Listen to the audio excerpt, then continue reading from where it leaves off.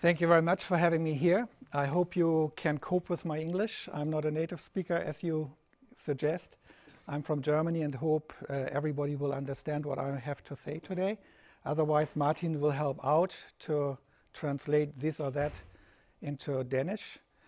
Um, as uh, we go, I will present you and guide you through the um, methodology of the biodigester.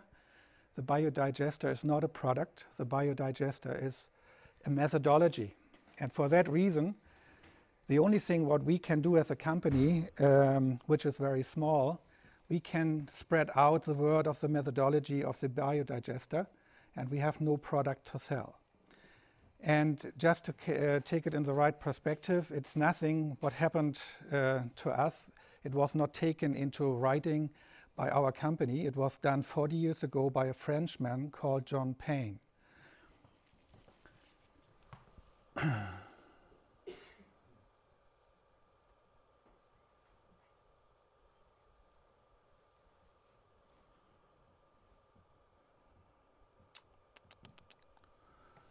where to put it here, right? Okay. Yeah, this Frenchman, uh, Jean Pain, put in writing what other people maybe experienced that time. Unfortunately, he was 40 years ahead of the time, and nobody was really interested in it because at that days, oil for the he central heating cost 8 cents, and uh, whatever they put in place and how he showed it will work within our environment was far too early. Since 30 years within our network, we experience the biomeiler or the digesting system of compost with heat ourselves, but putting it into a company only took place three years ago when the heating cost almost came up by one cubic meter of gas or by one liter of oil to one euro. And that was the first time that people listened to this methodology because muscle power and our nature and our environment could help out to harvest heat from the composting of uh, wooden um, material. And we are not talking about the wood, which you can use for panels and for furniture. We are talking about the leaves, we are talking about the branches up to the diameter of 10 centimeter. What this biological process needs is the skin of the wood and all these smaller ingredients which cannot be burned or cannot be fabricated into any kind of valuables.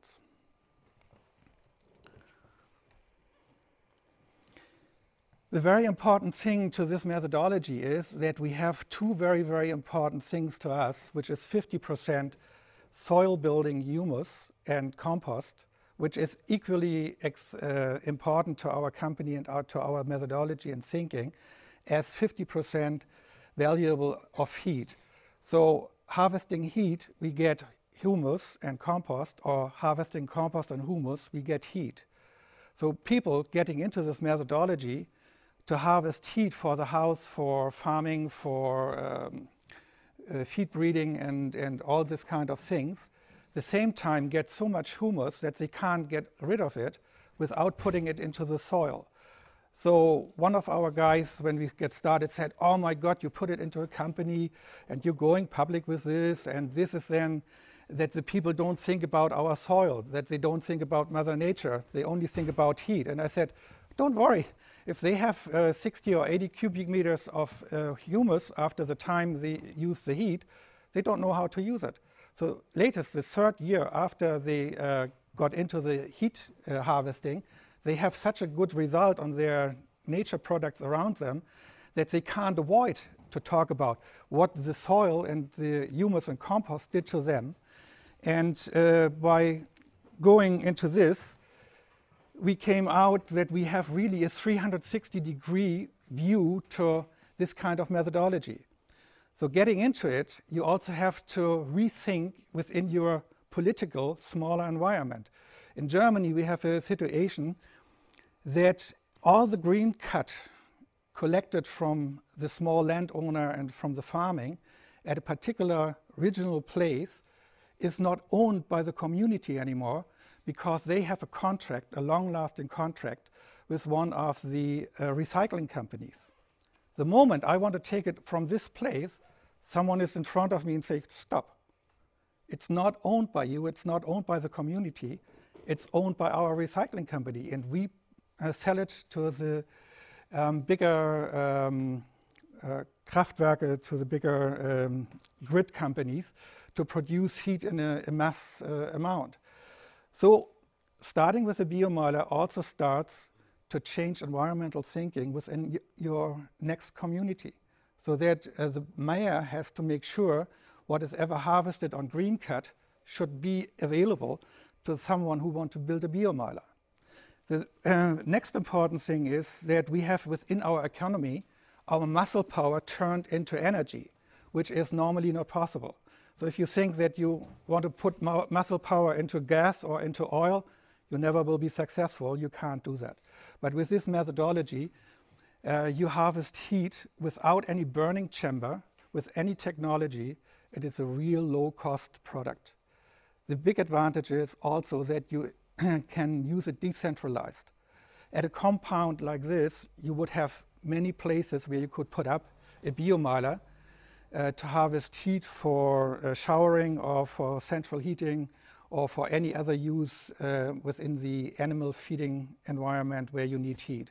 So the Hollandish people found out that cows feeded with warm water give 3 to 5% more milk.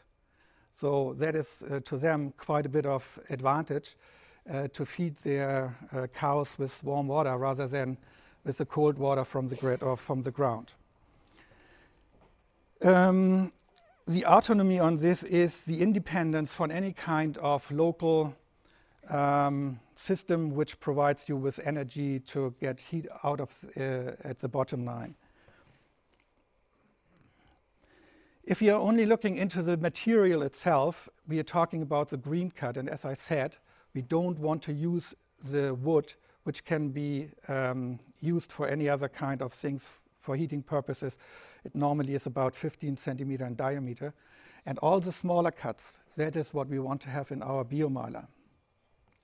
The wood chips, the energy, the compost we harvest, and um, the methodology to put it into our soil and to get very uh, long-lasting vegetables and fruits out of it uh, led um, Jean Pain to the book which is called Another Kind of Garden.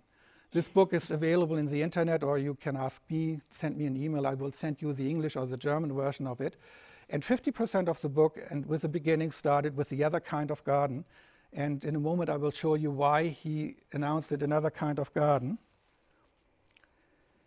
Um, the biomeiler itself has the components of water, of wood chips, of some pipes, and a pump. The only mechanical part on electricity, electricity on this biomeiler is a pump.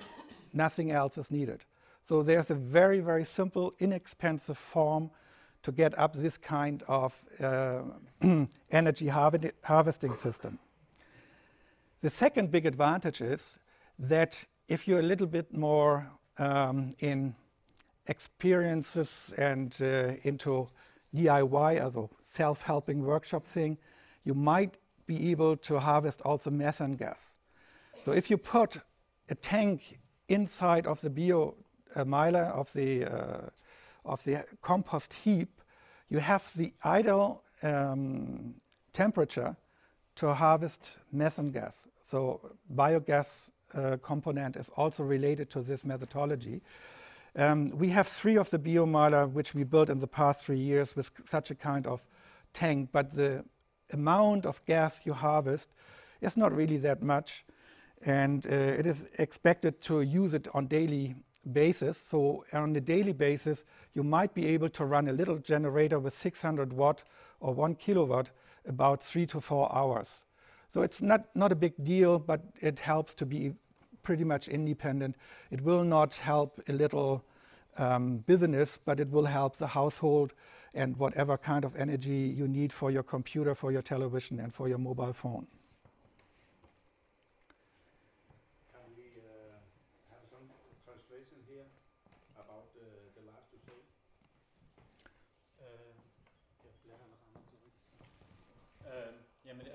Det er den øh, øh, metoden i det, eller sådan to principper i Den ene er at, at vinde varmen derfra, fra kompostdyngen, og, og så er der en, en yderligere udvikling, øh, hvor man kan placere en, en, en lille biogasreaktor ind midt i, i øh, øh, bioreaktoren, altså den, fordi der er en optimal temperatur derinde, og så på den måde kan man øh, forgere gassen, øh, forgere øh, organisk materiale.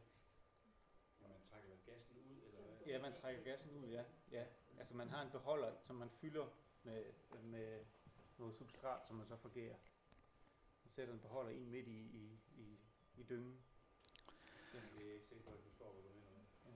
Jeg, jeg kan godt måske. Ja, altså man placerer en, en, en beholder ind, altså en, en biogasreaktor. Øh, en, en, en, simpelthen en beholder, som man fylder med noget øh, husholdningsaffald og, og andre ting. Øh, og så, bygger, så fylder man op med kompostflis, eller med, med træflis, og, og bygger sin bioreaktor i øvrigt øh, op omkring den. Og så har man en optimal temperatur derinde, som så varmer øh, den der biogasreaktor inde midt i, den varmer den så op, og så på den måde kan man producere både gas, biogas, metan og, øh, og varme. Så gassen fra den yderste kompostdel, den lader man forsvinde? Altså nej, den gas, der, der, der måtte opstå der, den indgår i komposteringsprocessen. Yeah, th this is uh, a separate tank inside. So we only use a, a temperature to make gas within the tank. There is no gas related to the bio uh, composting biological chemical process.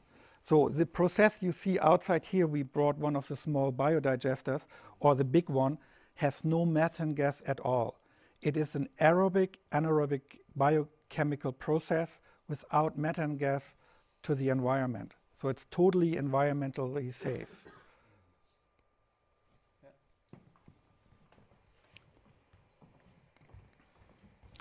So we have two methodologies to build up a compost heap. The classic methodology from Jean Pain was only to use fresh cut and shredded wood, which shouldn't be older than 10 days.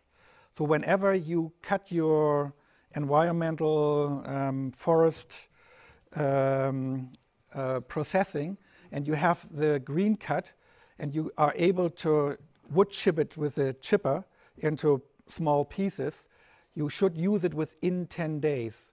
The reason is that the bacteria between the wooden part and the skin uh, evaporate and disappear when they don't have the right environment. So it needs moistureful with a lot of water and it needs to be fresh to generate heat. If you have older components of woodcuts or saw dust from the sawmill or any kind of uh, dinkel um, schrot, how is that called? This, um, uh, so if you have this kind of material, you do need um, dung and uh, slurry from horses manure, from chicken, from cow. Pig manure is a little bit colder. It's almost 5 to 10 degrees colder than the other manure. But if you mix that so that you have at least 40% of the wooden part and minimum 30% of the manure, then you ha will have the right mixture to get also old material started. And the wonderful thing is, even if you have old construction wood, which uh, with, with a lot of um, and all these kind of chemicals, present preservatives, it totally disappear after the period of composting. So the composting procedure has a biological chemical process to get rid of any kind of seeds from the um, tomatoes, from the pumpkins. There are no E. coli ba bacteria left. There are no botulism uh, bacteria left. So there's a total biochemical process of hygienization from all these things we don't want to have in our soil after composting. How about seaweed? Can you use that? Seaweed you can use, yes. But um, what we have to avoid is that we have a fouling process into it. What would is it? I, I, yeah, um, the, the, it is a rotting process, but it shouldn't be uh, foulness. Um, what is it in English? or what is it in Danish? Danish. Yeah, so we have to avoid this because this is giving us a botulism bacteria which we totally don't want to have. But the process itself never would go into the foulness uh, environment um, since the bacteria and the enzymes are responsible for the biochemical process uh, doing it by themselves. So the knowledge of this bacteria and enzymes are very, very powerful. If you say that the poisonous uh, wood preservatives would disappear Disappear totally. Yeah. in this process, Yeah, the biochemical process put everything in uh, the molecules into atoms, and the atoms are then reusable and without any kind of uh, poisoning structure. Um, oh, okay. So, um, I was in the process to uh, explain the two different methodologies the methodology on water and wood chips from Jean Pain, and the methodology on um, manure, wood chips, and water or slurry from uh, horse and cow manure. Um, this is a process which I recently came across uh, and totally explained by the uh, German guy Walter Witte. So he did a um, uh, science thing about this past 19 years, which now is with the university the past five years. And next year, 2014, we expect to have the doctor, the PhD um, work from one guy from the university ready to explain the entire process on the biochemical basis. In the moment, we only have the explanation by uh, results. Um, the two methodologies, if you go with manure or if you only go with uh, wood and water, has in common that they are totally low cost. No costs involved, right? Just a few pipes. The meter of the pipe is about 60 to 70 cent, uh, euro cent, which is very, very little in, in investing. And then you have a pump, which is roughly 120 euros. And um, all the other things around it is something for the eye, for the environmentally um, uh, uh, feeling. So if you would like to put around some coverage by wood plates or something like this, it's up to you. For the process itself, it's not necessary.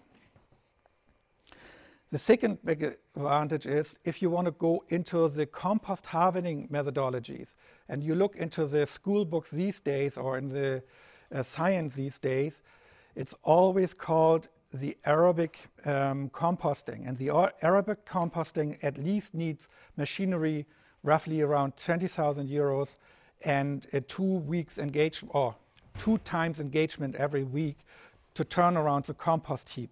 And this methodology is based on put it up and leave it alone. It will work itself and it will give you much, much better results than you ever do the uh, aerobic composting by turning around the compost heap. So that's uh, also another big advantage. And um, as I know, in Germany especially, only 2 or 3% of the farming environmental people are in composting. All the rest saying, if I put the shit on the field, it will digest itself. That was maybe true 100 years from now or earlier, because at that time the soil was pretty well in his uh, structure. These days, after 70, 80 years of uh, chemical um, fertilization, there's no structure in the soil. So the soil components and the soil results uh, done from the laboratories are very, very much to be compared with the desert in the Sahel zone. So our uh, soils in Germany in many, many places is as bad as the dust and as the desert um, in any other place. So the last year we had a very big erosion uh, problem uh, by wind when uh, hundreds of cubic meters flown through the air and we had big car accidents in Germany related to this uh, event of erosion. Um, I'm not really going into the biochemical process. I think Martin will take care of it uh, in the second half of this um, meeting. I just want to um, make sure that uh, I get into this sentence from Mr. Witte, who did this um, science uh, observation over the past 20 years. He's saying in this process with the microbiological uh, um, uh, biochemical process, which Martin will leverage a little bit later on, is that it totally lost its former structure. So whatever you put in there, it's totally lost. It's a homogene, independent, and um, uh, atomic structure. So this uh, humus material um, has so many components which are plant available that you can't even in a laboratory see the molecules. You only find the atoms. You don't find anything. If you would give that to a laboratory, they would say, what is this? There's nothing.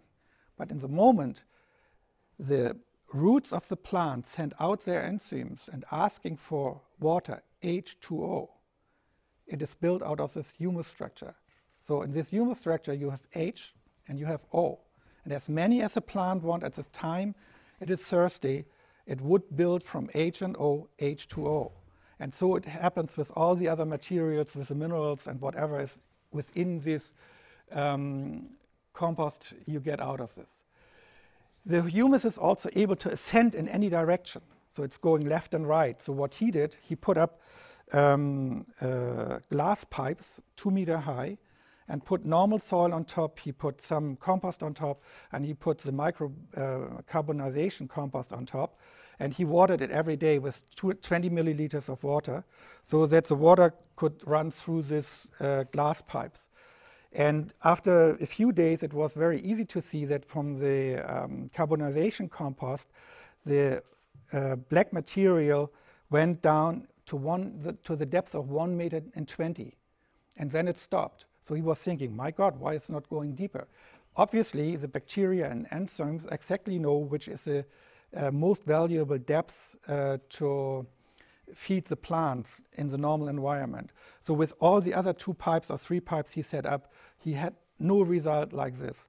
So that was very, very amazing to him that he could see how these microbiological compost uh, would um, travel through the soil environment. So, um, and the uh, result is that the humus outcome from this methodology is fully plant available, which a lot of other components uh, for virtualization is not, or only a short moment, and then it's going to the groundwater. Um, why it's called the other kind of garden? Um, the Jean Pain guy lived in the Pyrenees um, and took care of a big um, wooden environment. And uh, that is in, in uh, France. Uh, they had the heat of 40 degrees. He could not really have a little garden, and he said, How can I do that? And he did it with his compost. So he only put um, a few wooden planks on the floor and uh, it's a very stony um, soil which is in his environment. He had amazing results in uh, harvesting fruits and vegetables, and uh, he did it very simply. He didn't need to water it because the structure gave the water itself. And uh, for me, it's also called der Garten für Faule. So uh, that is a gardening for lazy people.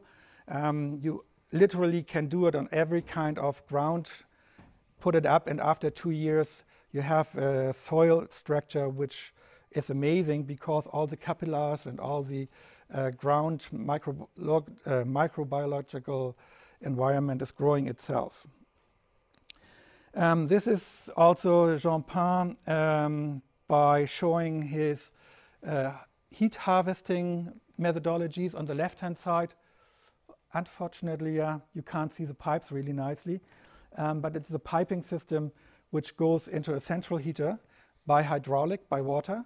And on the left-hand side, he was heating a little hut um, with uh, air pipes. So he just put air pipes into the compost heap to harvest the heat out, out of there. Um, yeah, that's something you just can imagine that in the front you see a blue truck in behind, you see one of the big uh, compost heaps, and in the middle, the white spot is one of the tanks which uh, produced methane gas, biogas. Uh, he had to dig it out because the compost heap, the material around the uh, methane gas uh, production part, was still working, but the methane gas after three months um, was done because he had no filling and no um, releasing uh, uh, slurry material. So it was one tank set up with a slurry one time, and so he replaced it. And uh, what you may can imagine on the right hand side uh, amongst the white pillars um, are tubes from the truck, the truck tubes, the air tubes. And these are filled with biogas. So he used uh, the storage facility from truck tubes uh, to harvest his uh, methane gas. And what he did then is that he had a small compressor uh, and took the methane gas um, on the gas bottle on top of his Peugeot uh, 2, the, the Ente called in Germany, his old car, and he was running his car by biogas um, for a long time. And he was very self dependent uh, with his energy. Over the time, um, we went into the experience how to build up the biomeiler, the compost heap. And uh, one of the part was how can we do it if we are not in a farming environment? So for that reason, we experimented also with uh, mesh bags, which you know from onions, potatoes, and wood. And uh, this is a carry device that you can bring also the um, dung and the uh, wood chips in a small garden environment and build up a biomeiler even in a smaller household um, where you don't have the opportunity to use um, any kind of uh, tractor. In this particular part, uh, we set up a biomeiler for a sports environment.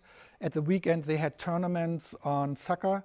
So about all the groups playing there, 60 to 80 people needed a shower. So they had a 360 days um, usage of hot water. So that was a supply for the hot water system from uh, the sport clubs. In this particular case, we put up an entire uh, compost heap by the mesh bags. So that was in a little garage where we put up a compost heap uh, for the house uh, central heating. So the smallest we built or you can build is about 40 cubic meters. So if you have a compost heap by 40 cubic meters, it is winter safe. If it's smaller, then the frost is going into it and brings down the temperature. And the biggest we ever built was about 200 cubic meters, which is quite a big piece. So all um, the biomeiler not supposed to be higher than 2 meter 50. 2 meter 50 is the best height for the biological and chemical process within. Um, it doesn't make it better if it's 3 meters high or 4 meters high. And the diameter of such a compost heap is about 8 meters. So that is one of the bigger forms, and whatever is smaller is possible. So I have speed to speed up a bit, right? otherwise we are running out of, out of time. Um, here um, you can see a big tanker of, uh, I think it was 12,000 liters um, for watering, and the big pipe on, on top. Um, so water is one of the very, very important parts of the compost heap. So you need quite a bit of watering, or you need the slurry from um, the cows and pigs and horses. By the way, um, if you put up um, the compost heap with chicken dung, the temperature is in average 10 degree higher than with any other manure. Um, uh, I don't know, but the chemical um, situation from the chicken dung must be more energy carrying or the digestion process is much higher. And uh, if you only go for heat and you need heat about 70 degrees, um, then you go for chicken manure. Um, we have uh, a number of uh, biomeiler built up in the southern part of uh, Denmark. Um, that is in the environment where Martin is working because last year in November we had a workshop in Flensburg where Martin participated and Christian participated and um, they spread the word in Denmark and out of the sudden, 6 of the biomeiler came up, and uh, two of them are with um, ecological uh, chicken uh, farm, and they also have the um, wood, or what, what is the name for that? Uh.